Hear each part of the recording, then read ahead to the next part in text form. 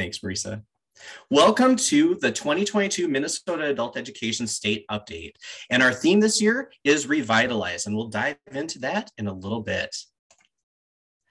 Let's start by introducing our Minnesota Department of Education staff, our adult education team. I'm, I'm going to give each person a chance to uh, introduce themselves. I'll kick us off. My name is Brad Hasskamp, and my role is State Adult Education Director and Team Supervisor. My pronouns are he, him, and his. Um, many of you can feel free to ask me about uh, any adult education policies, the 2021-22 additional ABE funding that we've had available, and any accountability issues and expectations uh, questions you have. I've been working um, as part of the adult education team at the Minnesota Department of Education since 2010. And just kind of my summer note is I've been spending many weekends going up to central and northern Minnesota, helping take care of some storm damage to our to our property um, with family. Luckily, no building damage, but we've been doing a lot of chopping of trees and I've become really good at at uh, chopping up firewood. So that's been that's been my uh, summer activity. I'm going to turn it over to Neil. Hello, um, my name's Neil Allard. Um, my pronouns are they, them. Um, I'm the Records Communications and Administrative Support Specialist. Um, if you're emailing me, only email me directly about um, contact list changes and who to contact when you're unsure um, who else on the team to contact. There's a secret slide later with more information. I'll be back. Um, I've been at MDE since 2021 and um, I have a little cat who usually is around, but is suspiciously missing at the moment. So she may she may make an appearance later.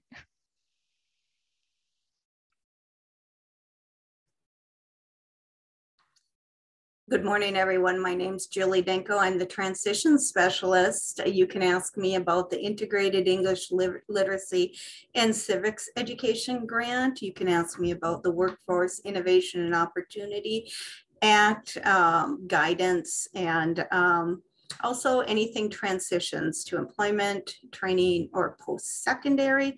I've been at the Department of Ed since 2010, and what I've been enjoying is watching the day lilies bloom in my garden, which I bid on at the last Summer Institute that we had in person. And I will pass it on to Astrid. Good morning, everyone. I am Astrid Liden, and I am the Professional Development Specialist on our team. My pronouns are she, her, hers. You can contact me with any questions about adult ed professional development opportunities or support around professional development in your local programs. I've been with our team since 2006, and a highlight of my summer was going whale watching in Cape Cod and seeing hundreds of humpback whales bubble net feeding. A pretty uh, exciting experience for me.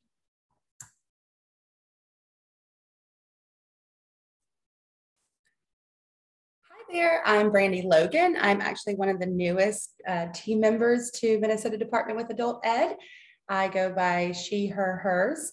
And you can ask me anything about high school equivalency services. So that includes GED as well as our new HiSET that we are rolling out for the state this year, and anything to do with accountability. Uh, I've been with MDE since the summer of 2022. So um, a little quick note is I am a Georgia transplant just coming here and I'm new to the state and my summer consisted of hotels and road trips and wandering the state. I've been to Can Can Wonderland and down south towards the lakes. I've gone to catch a couple of baseball games, as you can see, and just seen such amazing sights throughout the state. I'm loving it.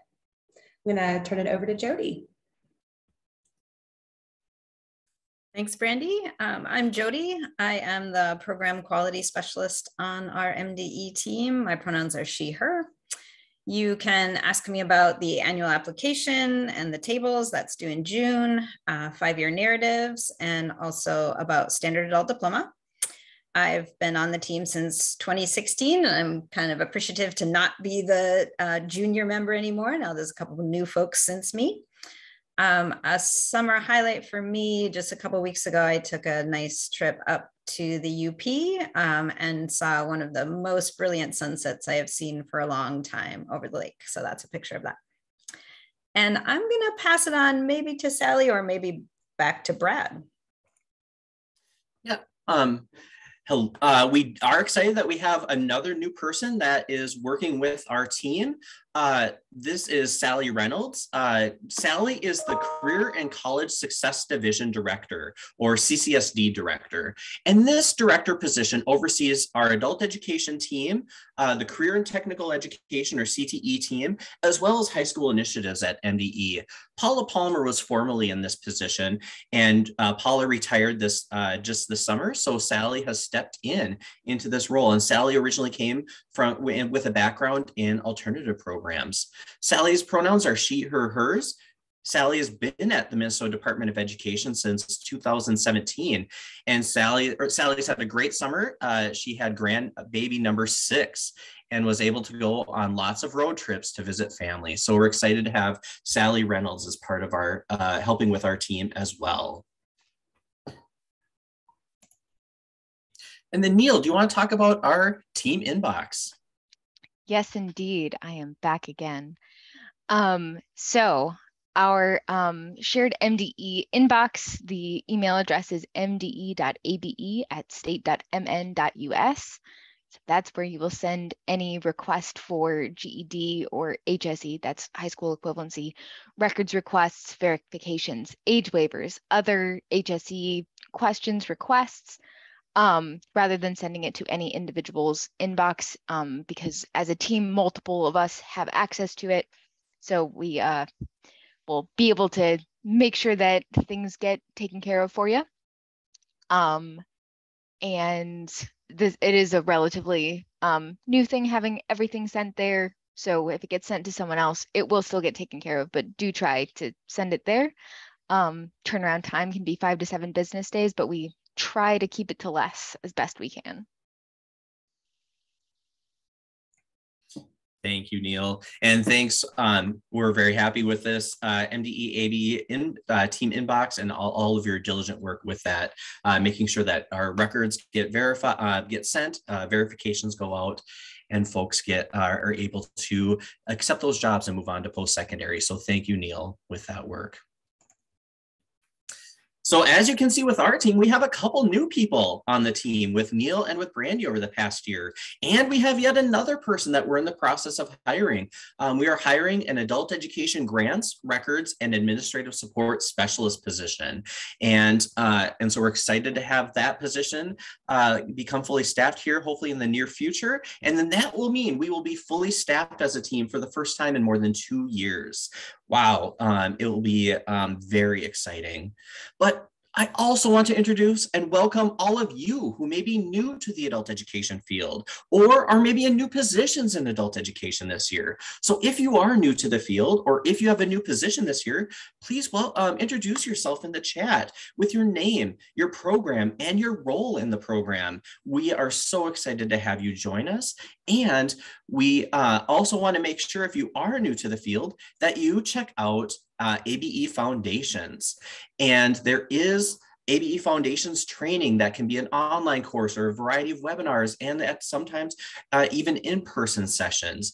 And Marisa has shared out in the chat a link to check out ABE Foundations. So we're excited for you to check out that resource, such an important resource to get to know adult education and how our system works.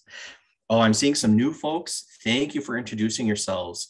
Uh, it's so good to see. Go so good to see you. So happy to have you part of the adult education system. It's a really exciting and collaborative system, and you get to see so much positive change, and that is exciting. Now let's take a moment to look back at the last year. 2021 22 has been yet another year filled with many successes and many challenges. Uh, we've seen you working hard in your programs and across staff to reach students, to engage students, and to really serve your communities. Thank you for all of that wonderful work, such essential work. You are adult education and you are why adult education succeeds. Thank you so much for all of your efforts and for your persistence and your passion in with our adult education work. Jody, I'm going to turn it over to you. Thanks, Brad. So we wanted to get started um, today by kind of grounding us in some numbers and some data about this last year and uh, kind of where we're at as a statewide system at the moment. So uh, here on this slide is some data about program year 2021-2022, which is the year that has now ended, the most recent year that ended. So uh, in terms of the number of students that we served across the state, it was a little over 41,000 and, and the number of contact hours that those students generated was about 2.7 million. So if you look at the other numbers on this slide, you can get a sense of uh, how that compares to where we were before. Um, the numbers from 1920, now keep in mind, remember that was the year that was mostly unaffected by COVID. That was sort of the old normal, right? The old world um, before everything changed. Uh, so you will notice those numbers were quite a bit higher, about 54,000 students and about 4 million contact hours. And then the year in between, the 2021 year, which was the very intense, lots of, uh, you know, lots of shutdowns and lots of restrictions and things, there was a significant dip down in those numbers in that year, about 38,000 students and about 2.2 million hours. So what we can see for 21, 22 is that the trend is back up, uh, but we are not back to old normal before COVID. And maybe at this point, uh, maybe we won't be, hard to say for sure. On, on the next slide, Brad, there's a little more, another visual that uh, to kind of help you uh, visualize uh, what this past year looked like in comparison to the other years before it. So this chart shows us the trends in terms of student contact hours month by month um, for the previous three program years. So if you take a look at that red line, that is the old normal. Um, that is back when we had more than 4 million contact hours in a year. And you'll see that red line in February of 2020 takes a sharp nosedive, right? That is the point at which the pandemic had drastic impact on all of us and our and everybody and our including our statewide adult ed system.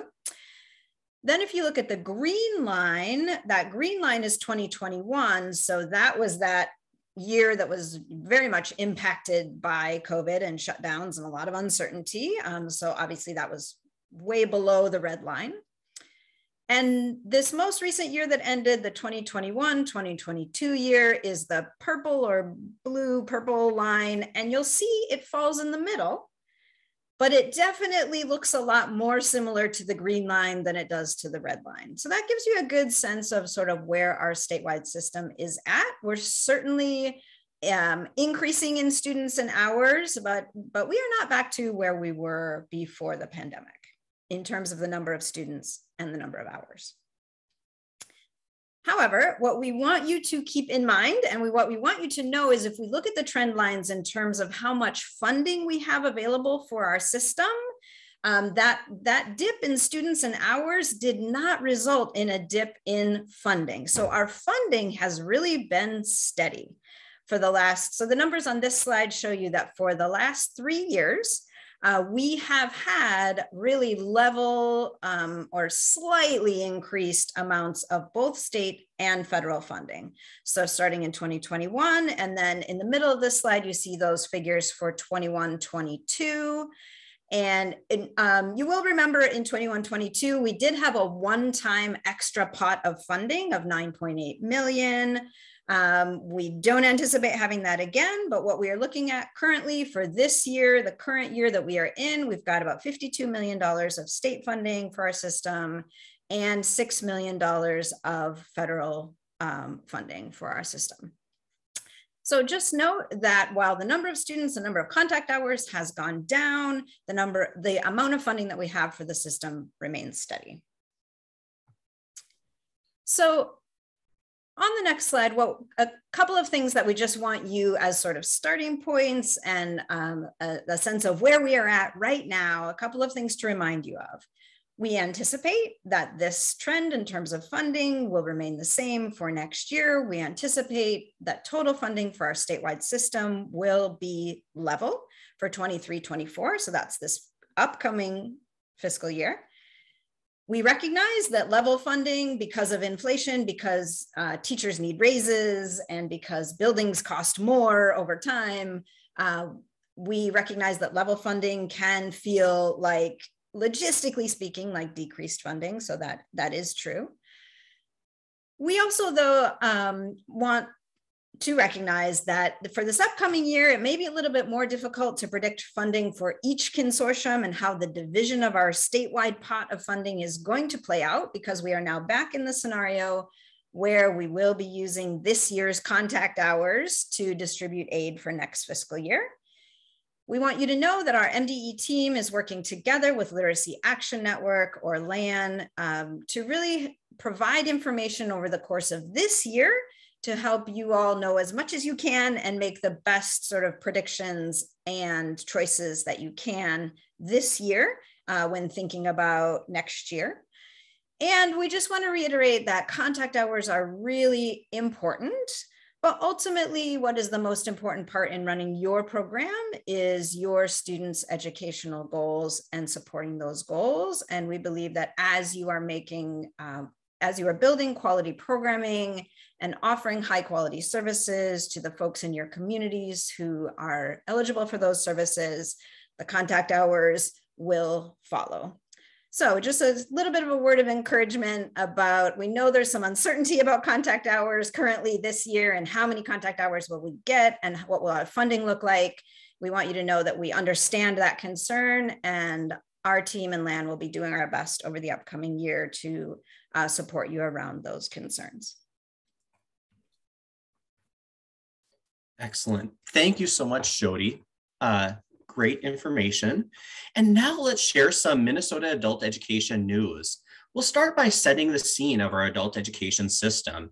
Overall, in our system, we have uh, 38 different grantees called Adult Education or ABE Consortia statewide, representing all school districts and many other uh, members there are more than 100 providers providing adult education services around the state at, at an estimated 300 uh, different programming sites. And those could be in schools, in nonprofit organizations, correctional facilities, tribal nations, post-secondary institutions, career force centers, libraries, workplaces, many other locations, as well as online, whether that's uh, formal distance learning platforms or cl virtual classes through Zoom or Google Meet. Wow, a lot of services happening around the state. And we do have some statewide targets. Speaking of uh, student success that Jody was talking about, we do have some statewide targets that we're expected to, to meet or exceed. And these targets are annual performance goals that are set with the US Department of Education for our statewide adult education system. These targets, you'll notice, have changed significantly because of the COVID-related impact on our programming. So the one target that we really want to make sure that we share today um, is our measurable skill goal. Uh, or measurable skill gain target or MSG target. So from July 2022 to June 2023, uh, our target for measurable skill gains is 27.5%. That means we hope and expect that at least 27.5% of our participants, those are adult education students with 12 or more hours, will make a measurable skill gain. This can be through pre and post testing with, an, with TABE, CASAS, or BEST Plus. This could be by earning a diploma or a high school equivalency diploma. Um, so make sure that you are pre and post testing all of your ABE students. This is, uh, we're increasing the importance of our targets this year. You'll note though that this 27.5% is much lower than our target last year of 44%. And that's because of the COVID related impacts. So I'm hoping that as a system, we can not only meet, but exceed those targets. And in the chat, you'll see that there's a link if you want to learn more about these targets and all the other targets that we have. Uh, you can see a link to our mnabe.org website to learn more. So now I'm going to turn it over to Brandy. Hi there. So with high school equivalency, you might start seeing these this acronym coming around HSE. And what we're wanting to let people know is that we are about to have two high school equivalency testing opportunities. for our students here in the state of Minnesota. So right now we currently offer GED testing, but with new HiSET coming out, we're going to have much more uh, availability for students. So we want to start veering away from we are only a GED uh, state. We are no longer a GED state. We are GED and HiSET.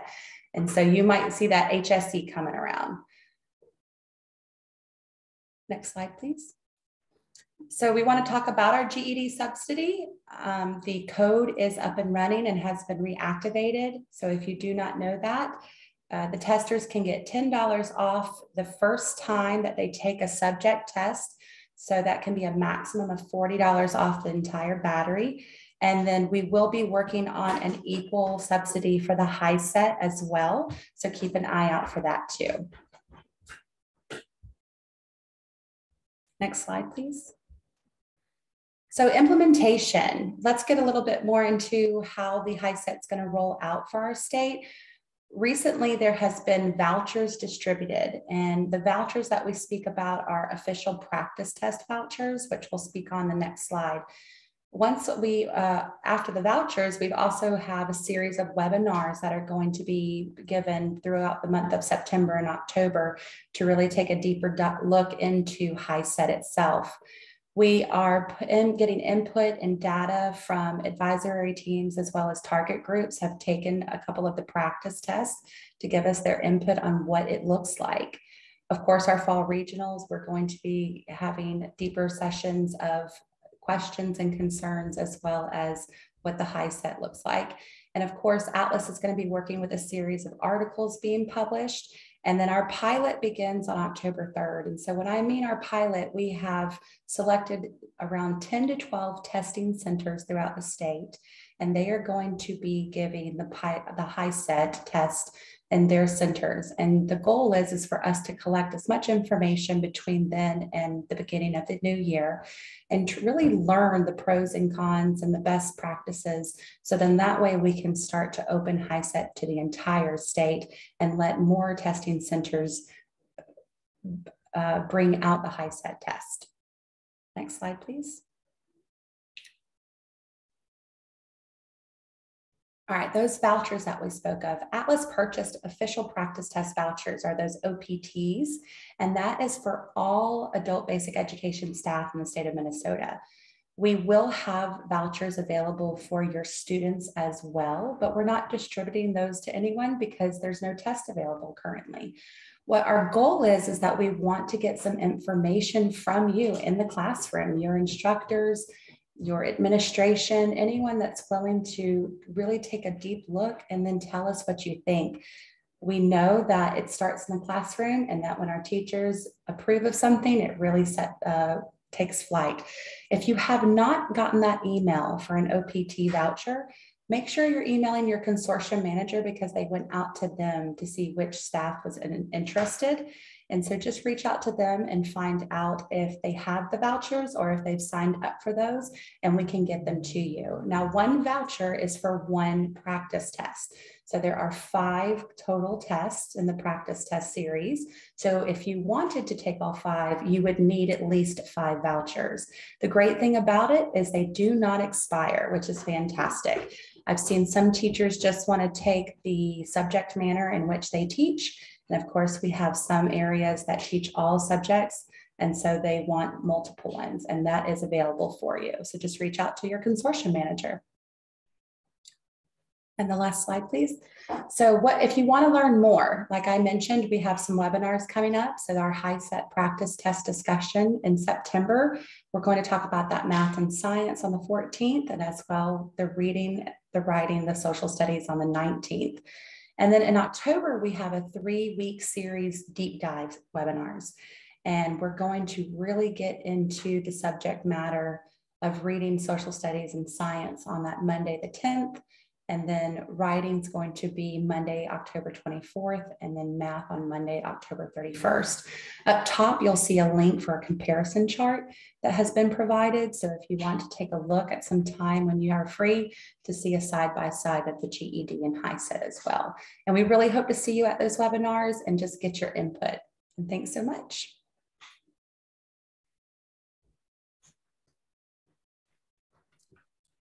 This is Julie, and I'm really excited to announce two uh, pilots for this upcoming programming year. One of them is the online statewide training courses. This is new, and what we're doing is promoting uh, four courses or training courses across the state. They will all be online um, in their healthcare core, Microsoft Office specialist, paraprofessional preparation, and TEAS prep. Um, these will all be available to any student across the state. And currently, the only training course that is running is the healthcare core course. And the link is in the chat if you are interested in referring a learner to that course. Um, you can go to that link and get more information. As the other courses begin, and you can start referring learners to them, you will be receiving information from our office. We will be sending out an email that will describe um, the different ways to enroll learners and how to access more information about each class. And that email uh, will be coming relatively soon by the end of August, hopefully. Next slide, please. The second pilot is ability to benefit. And this is a pilot that's being run in conjunction with Minnesota State uh, colleges. Ability to benefit has been around for years, but it is very underutilized in Minnesota. Uh, they, the, the federal government uh, took it away for several years, and then it was brought back with the condition that a learner can do this if they are a part of a, an adult career pathway. And so what this does is allows a learner to access uh, student federal student financial aid, for instance, Pell, uh, to pay for post-secondary education and training you know, even if they do not have a high school diploma or equivalency. The goal here, though, is to do this um, together so that by the time they get that post-secondary credential, they also will have their um, high school diploma. Next slide, please. So there's three ways that a person can access ability to benefit. So if you have learners that are currently preparing for GED, HiSET, adult diploma, you should be also looking at this if they're interested in pursuing post-secondary. So the three ways that they can access ability to benefit is if they complete six credits um, towards a degree, or if they pass an exam approved by the US Department of Education, and in Minnesota, that's the AccuPlacer. And then the third um, option is what is currently being piloted in Minnesota. And if you could go to the next slide, please. And this is a state process approved by the US Secretary, Secretary of Education. This process has been submitted. Uh, we're hoping to receive approval by the beginning of this upcoming year. And again, this requires a partnership between Minnesota State colleges and ABE programs. And I know that a lot of these already exist. And if there's a career pathway um, that you have with a local community college, um, this pilot would be um, something that you should consider uh, participating in. And you can contact me if you'd like more information on it.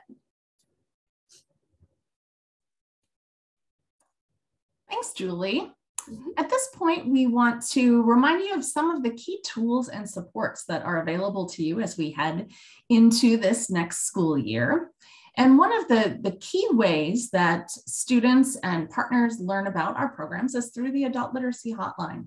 So as we head into the new school year, want to make sure that you ensure that all of your class and program information is accurate in SID because that is what populates the hotline. And then the information in the hotline is used to populate CareerForce and a variety of other directories. So if you need a reminder on um, best ways to keep your program info updated or some thoughts about how to use the hotline, there's a great poster session. You can head over to that to get some additional information. We also have some new outreach resources available to you this year. Literacy Action Network has developed an excellent toolkit of outreach and marketing materials. So uh, in this toolkit, you can find recruitment materials, planning tools, templates for use in both social media and paper-based flyers, um, stock phrases in a variety of languages, and some beautiful photos that were taken at a number of different ABE sites here in Minnesota that you can use in your materials um, to represent the learners that we serve. So in the next couple of slides, you can see um, what the templates, some of the templates look like and the final product of these flyers, um, as well as some of the stock phrases that are available in a variety of different languages that you can use in your recruitment materials. So thank you so much to Literacy Action Network and to the programs that hosted um, the photographer to get those beautiful photographs and encourage you to all um, take a look and think about how you can use these to bring more students into your programs. Also want to remind folks that you have your support network here available to um, support you in a variety of areas. You can see the list of the different uh, programs and providers that are funded through our supplemental service grant program. They are here to support you and your program. Please take advantage of their services. Um, you can find out about professional development opportunities that they offer through our Minnesota Adult Education PD calendar and by um, checking out our ABE Connect newsletter that comes out every Tuesday. Um, it's compiled by Atlas and is sent um, from Neil's email address. And you can find links to register for events and every other week a variety of articles about excellent resources out there to support you. Also want to make sure that people are aware of our FY23 PD dates document. So the, the PD calendar has information about events that are currently open for registration. If you want a snapshot view of everything that's planned and scheduled to date for the year as you plan for your own professional development calendar, check out that um, spreadsheet um, so you can see what's being planned into the winter and the spring. And then finally, uh, encourage you to continue the conversations that you start here at Summer Institute uh, throughout the year with your colleagues from around the state via our Minnesota Adult Education Network on Mighty Networks. There are a variety of groups that you can join to connect with other educators and administrators, and there's a link in the chat about how to get connected to that network. So we hope to see you there. I'm gonna turn things back over to Brad um, to talk about our year ahead. Thank you so much, Astrid, and thanks to the rest of the adult education team. Yeah, let's talk about what does it mean to revitalize adult education in our year ahead like we've said before, we see you working hard. We see your programming evolving. We see you finding new ways to reach and serve adult students while still serving those um, in traditional ways um, that need that uh, traditional service with that model. So we see a variety of programming models and a variety of content evolving um, in our in our programs. And we also see many of our current and potential students' expectations evolving. And so that forces us to adapt um, while still making sure that we help each other as staff recuperate and rejuvenate. So how can we do that over the next year? Well, let's talk about the four R's. Um, new than the uh, reading, writing, and arithmetic, let's talk about refocusing, rejuvenating, renewing, and reflecting so that we can revitalize adult education for students and staff. Let's dive into each of these R's. First, on refocusing, we want to make sure first and foremost in our system at the state level and at the program level and at the individual level, we are prioritizing learners and staff, both current and potential, to build and sustain engagement, incorporating both learners' voices and staff voices and their needs to help us analyze what we do and how we do it and make decisions on what we do and how we do it, utilizing an equity lens. So what does that mean? So we see some examples of student perspectives. Um, hashtag IamABE has shared some great, has collected some great student feedback and shared some great student feedback. And they're gonna be sharing that on their website as well as in social media. Um, here's just one example of a student asking in terms of what they would like to see change in adult education. They would like to see clear pathways to jobs and to higher education articulated within our adult education programs. We also hear from staff, from each of you saying, we want you you were saying you want to reach more students. You want to engage more deeply with students. Um, you're, you want to see your, your enrollment increase in your programs. We also see you um, saying that there's a lot of positions that are unfilled and that certain that there are positions that are underpaid.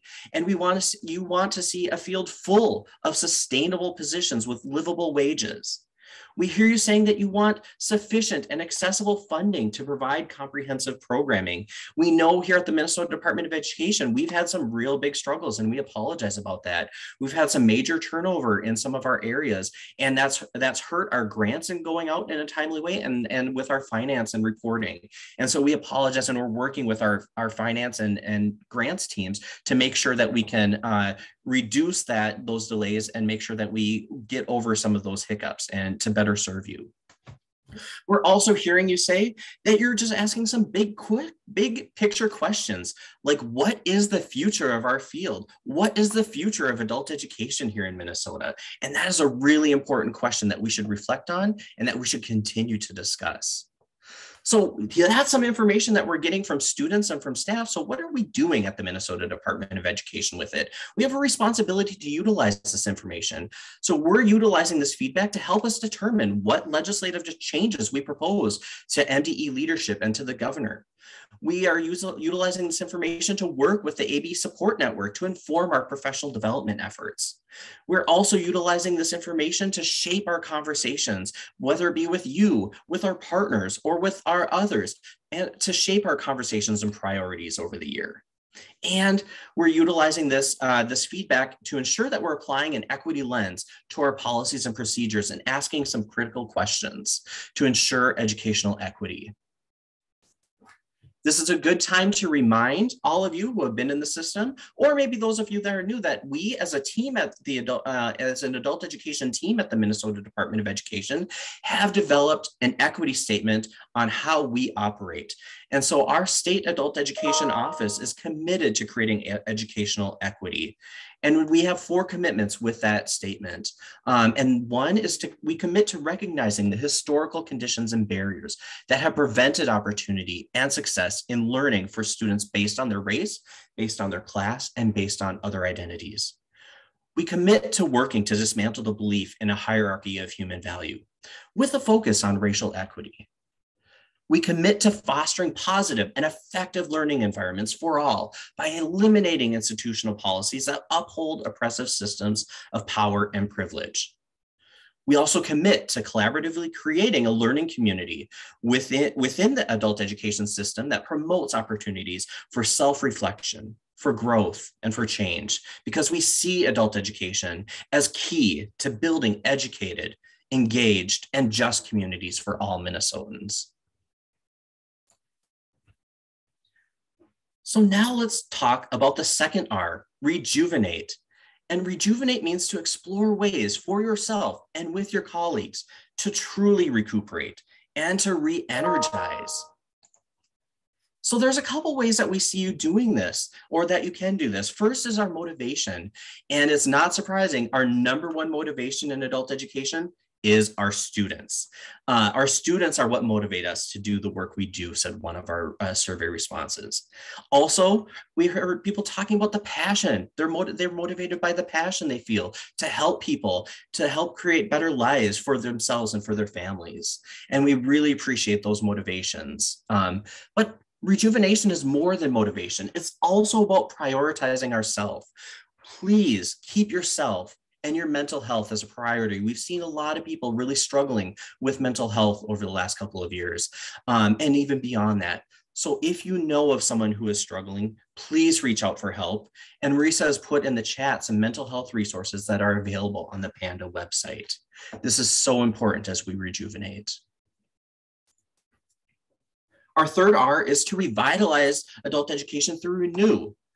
Renew by uh, evaluating and adapting sustainable and successful models locally and statewide that include in-person, hybrid, HyFlex, and distance education models that teaches content and skills that learners are wanting.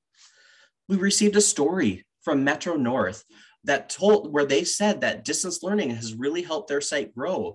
And that's been and they've been so encouraged by the work that they've done.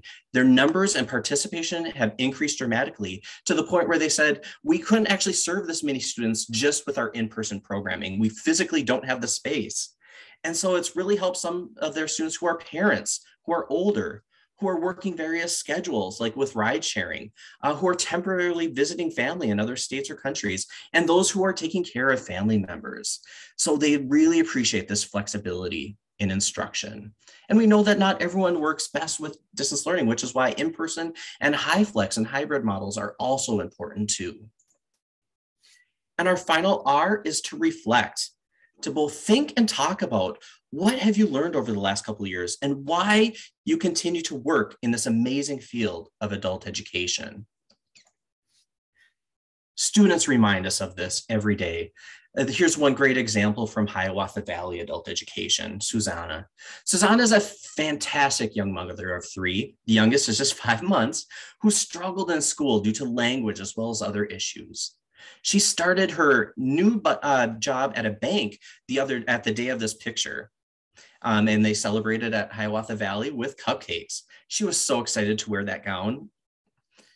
Before she left, they discussed how they can better help her get started in college, as well as um, well, they can help her in college if needed. She knows she wants to be in the banking industry. So she knows she's looking for like an accounting and business uh, career pathway and, and certificates and, and diplomas. So we're really excited to see our students reminding us of why we do what we do. We also have photographs that remind us of what we do. Um, this is a, a beautiful story from Northwest Service Cooperative. They received a photograph of a young woman wearing a cap and gown. They didn't know the woman's name. This, the photograph just simply stated on the back 1989 Minnesota GED diploma, 1991 Northwest ABE high school diploma, 2016 Metropolitan State University Bachelor of Arts. On the backside, she handwrote the following message Thank you for supporting lifelong learning. My academic journey is possible because of the existence of organizations which support education in all environments. That is a big, wonderful statement. Her photograph continues to hang in their ABE office as a reminder of this 27 year journey from GED to becoming a college graduate, as inspiration during those times when staff get frustrated at the pace, maybe, or at the path of our, our learners may be taking. Um, and it motivates us to persist in helping adult, uh, adult learners meet their fullest potential. Thank you to all of you that have shared stories. We have a, a couple other stories that we um, want to share in the chat. First, we have some stories, um, exciting stories from Fergus Falls um, that have been in the media. We also have some exciting stories from inter, uh, story from International Institute of Minnesota, um, where they were recently featured in the media as well. Um, it's so exciting to see our programs and our adult learners um, highlighted and their journeys highlighted. And I want to hear from you because there's so much more to share. As we close out today, what have you been reflecting on with your work in adult education? What would you like to share about working in adult education? Please share your thoughts in the chat.